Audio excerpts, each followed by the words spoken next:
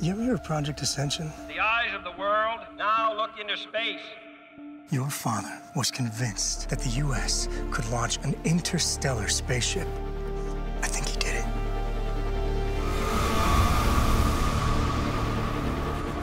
Ascension is about a space program that was launched in 1963. Totally top secret project. Nobody knew about it. President Kennedy and a man named Abraham Enzmann were concerned about the Cold War, so they sent 70 scientists, the best and the brightest, into space for a 100-year journey to Proxima. The show picks up 50 years into the journey. It's kind of like a traveling time capsule where they're still playing records, and the films that they've seen are only up to 1963. They've had no contact with Earth. And a lot of people on the ship were born on the ship. They don't know anything else. Our grandparents screwed us. They sent us to ensure life would go on no matter what. They sent us out here to die. We have a ship the size of the Empire State Building, so you got people up on top smoking cigars and living the life. And those of us that make the ship go and make the ship actually work and stay in space, I don't think we get very much respect. Lorelei!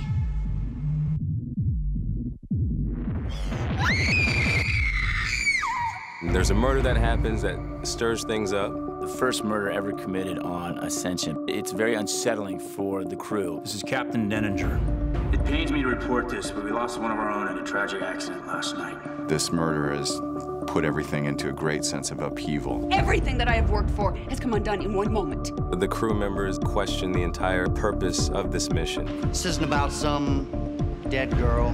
This is about the captain denying the lower deckers a voice. There's some dissension on Ascension. Some people want to turn the ship around and head back to Earth. Who are they? We believe the saboteurs have their roots below decks. Others want to continue forward on this journey. We are doing the right thing, aren't we?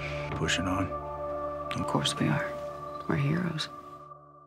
While all of that is going on on the ship, on Earth, my character, Harris Enzmann, is the son of the creator of this project. He's approached by an academic to reveal the truth of Ascension. If this is real, the world should know. Do you really think that they could do something like this and no one would know? And Harris reveals himself as if he's unaware of what's going on. But what you begin to find out is he's the guardian of the biggest secret on Earth.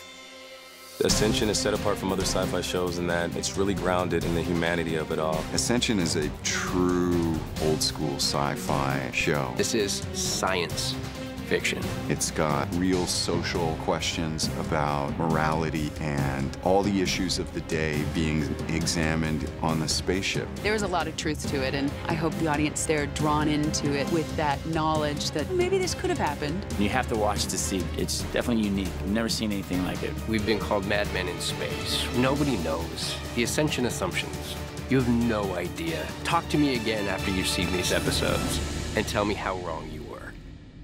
Ascension, a three night event. Limited commercial premiere, Monday, December 15th at 9, only on Syfy.